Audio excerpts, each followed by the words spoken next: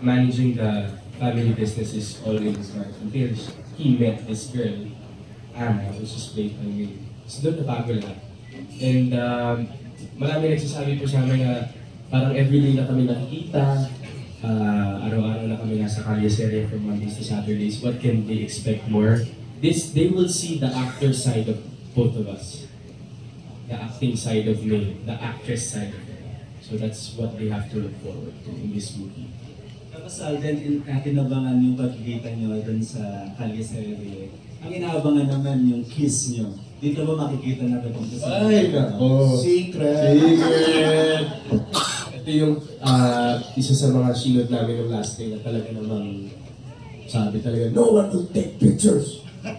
Kasi talagang bawal mag-video and all. Yes. Yes. in-edit ko kanina, yung buong editing room nagtitilian ng mga tao. Yun ako. That's it. That's all. Ano na, last na lang to Alden. Di, uh, pwede mong describe yung uh, relationship niyo ni Min off-screen. We're very close. I mean, nakakatawa like uh, yesterday since hindi ako nakadating sa Walk of Fame ceremony.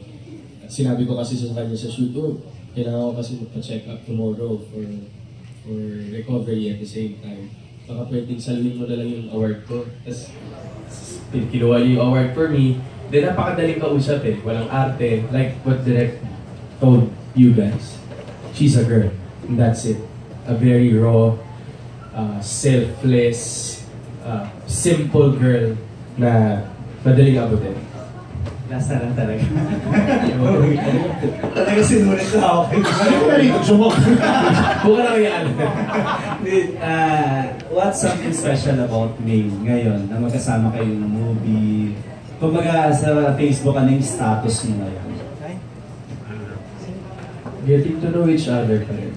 We're at that point. Kasi it has been, what, a month after tamang panahon and we only see each other through Kali Serie.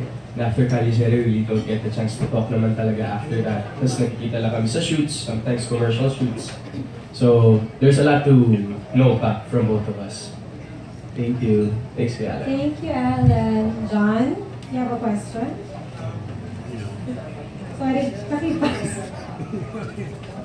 Hello, um, Hi, great. Alvin. Hi. Kumusta? Kayo naman. And, also Direction Wing. Good afternoon po. I can attest to what you said earlier about um, the greatness of Alvin. Um, I had like a, a short story. Sorry. Um, I had like a small thing because my cousins actually requested Alden to greet them on video. And I was kind of uh, mobbed by a lot of people uh, during the last event of Complex. Um, Alden, uh, Alden actually came back just to do that for me. So, ganun ka, kabigdingan si Alden. Tsaka ganyan na siya magmula nung in-interview ko siya sa GMA. Good karma nga sa kanya to eh. I mean, I've never known an actor na during the breaks would go out and talk to the fans. Hindi ba? Because he gives premium to people who appreciate him and put him where he is. And some, hindi ba, some stars they feel, you know, entitled Yes. but not him. That's why I think what we are experiencing, especially for this guy, is really a lot of good karma. That, you know, God is fair. And with that, uh, Alden, since good karma ang, ang ano natin, ang ating topic, um, what are you gonna ask for this Christmas? Karma. Meron pa bang wala si Alden Richards? Well, whatever I'm and uh, parang wala na po eh. I feel so blessed. I feel so appreciated by a lot of people. Um, I couldn't ask anything more. It's just ano na lang, guidance na lang from the Lord. That's the only, I have no uh, wish for any material things kasi even though I don't ask for it, it comes eh. So, just I'm just praying to the Lord that He guides me and the people around me in the right path and whatever He has been giving me and a lot of people around me so far, sana sustain lang, sana uh, uh, tuloy-tuloy lang siya and whatever I, I'm always praying to the Lord that Lord wherever you put me you put me to, in that position because you, you're, you, there's a purpose that I'm in this position. Use me to draw people closer to you. So parang nothing to wish more, sir, kasi everything is already being given. Alright. How about um, Ming? What would you actually wish for her? Well, good health. The same time kasi sometimes uh, medyo parang since she's new, yung hindi siya sanay sa yung body clock ng mga artista na gising sa gabi, tulog sa umaga, and then segue sa mga schedules.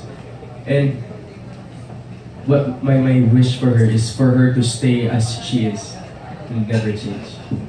Has she been the same Ming Mendoza that you met when you began? Yeah. Actually. So far, ganun pa rin. Wala pa rin pagbabago. Whenever we see each other, we always goof around, joke around. So, yun yung ah, parang isa sa mga traits niya na nagustuhan ko. And ako na rin ang mag-wish para sa iyo din na gumaling ka na. Magaling na, recovery, recovery. Marami namang gamot. Thank you very Thank you, much. John. Thank you, John. Next question.